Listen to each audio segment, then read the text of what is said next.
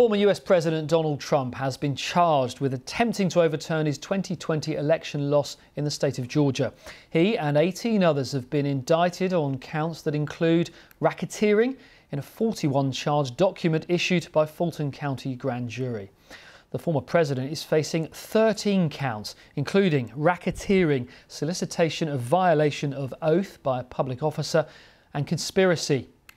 The list of defendants indicted late on Monday night includes former Trump lawyer Rudy Giuliani on the left there and former White House Chief of Staff Mark Meadows. Former White House lawyer John Eastman and former Justice Department official Jeffrey Clark. Well, the charge sheet refers to the defendants as a criminal organisation. The indictment document says Mr. Trump knowingly and willingly joined a conspiracy to unlawfully change the outcome of the election in Georgia and elsewhere. The indictment marks the fourth time Mr. Trump has been criminally charged this year.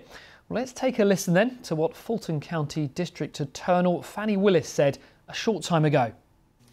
The indictment alleges that rather than abide, abide by Georgia's legal process for election challenges, the defendants engaged in a criminal racketeering enterprise to overturn Georgia's presidential election result. Subsequent to the indictment, as is the normal process in Georgia law, the, the grand jury issued arrest warrants for those who are charged.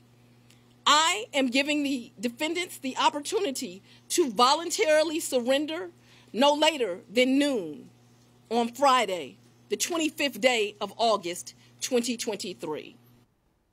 Well, the grand jury investigation into Mr. Trump was sparked by that infamous January 2020 phone call between the president and Georgia's Secretary of State, Brad Raffensperger. Here's a little of what Mr. Trump said during that call.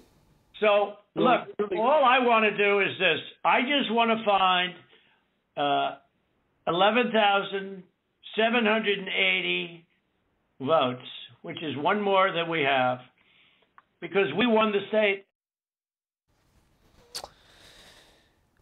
now, aside from the phone call that we were listening to there uh, with Mr. Raffensperger, Mr. Trump is also accused of pressuring lawmakers Mr. Trump's team told them they had the power to decertify the state's electoral college results. He also allegedly coordinated a scheme to have fake members of the Electoral College cast their votes for Mr. Trump in Georgia rather than Joe Biden, who in fact won the state. And Mr. Trump's campaign lawyers also reportedly worked with a data firm to copy sensitive data from election systems in a Georgian county. The most serious charge, uh, violating to the Racketeering, Influenced and Corruption Organisations Act, is punishable by a maximum of 20 years in prison. That act designed to help take down organised criminal syndicates like the mafia. Well, former President Trump denies all the charges. His campaign issued this statement earlier. It read, uh, They are taking away President Trump's First Amendment the right to free speech, and the right to challenge a rigged and stolen election that the Democrats do all the time. The ones who should be prosecuted are the ones who created the corruption, it read. Well, our North America correspondent Sean Dilley a little earlier gave a bit more information on the charges against the former president. 13 felony charges for Donald Trump, 41 uh, charges overall for him and 18 others, charged under racketeering uh, laws, very much what you'd ordinarily be used to kind of seeing in uh, mob type setups. Nobody's suggesting entirely that, but these are the laws that uh, Georgia have charged uh, Donald Trump and others with.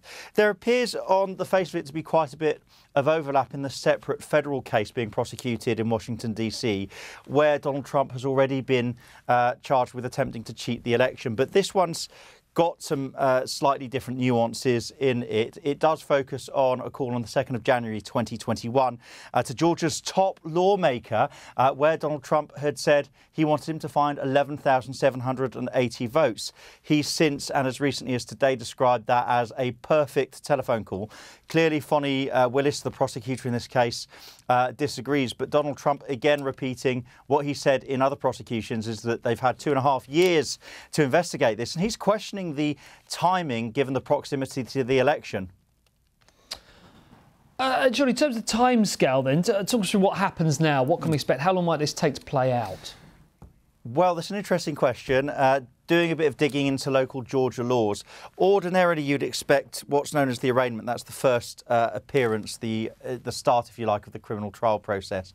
Uh, that would normally happen sort of uh, within a few days, ordinarily. Now, the prosecutor in this case has said that she's giving uh, the defendants, 19 defendants, until midday local time on Friday to voluntarily surrender. But in, in Donald Trump's case, certainly, um, he is a Secret Service protectee. Now, that means that the Secret Service uh, and local law enforcement have to uh, discuss that timing. More is going to become clear uh, over the next 12 to 24 hours. In terms of the timing of the trial. The prosecution say that they will ask whether it's possible to bring this to trial within the next six months. But you see, what would be likely to happen, as with the other cases, is that uh, Mr. Trump's attorneys would say, well, hang on a minute, we've got two and a half years worth of investigations.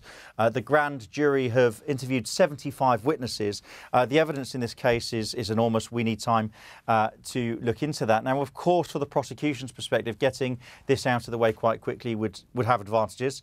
He's facing trials in other cases cases in, in March in New York over allegations that uh, he used his business to hide payments to a porn star. Uh, in May, he's going on trial in Florida over the classified documents retention uh, case on espionage and obstruction charges. No dates yet been set for the federal case that's being prosecuted in Washington, D.C. under Special Prosecutor uh, Jack Smith. Uh, but that's the case that has the closest relation to this uh, case in Georgia. One of the points that some people are making, of course, um, and again, I feel they're probably getting slightly ahead of themselves uh, to, to, a great point because we don't know what the uh, results will be. Everybody's presumed innocent till proven guilty in a court of law. But of course, on federal uh, convictions, if hypothetically they happened, it would be within the power of an elected president to pardon themselves, whereas with state cases, they can't do that. Sean Dilley there uh, in Washington for us.